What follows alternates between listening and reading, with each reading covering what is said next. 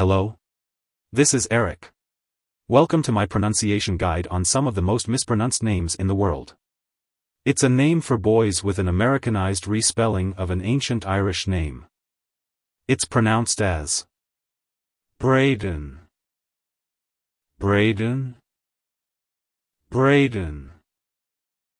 To pronounce it correctly, emphasize the bray and then lightly touch the den at the end. Like, hello Brayden. Goodbye Brayden. If you found the video helpful, hit the like button and subscribe for more on commonly mispronounced words. Thanks for your support.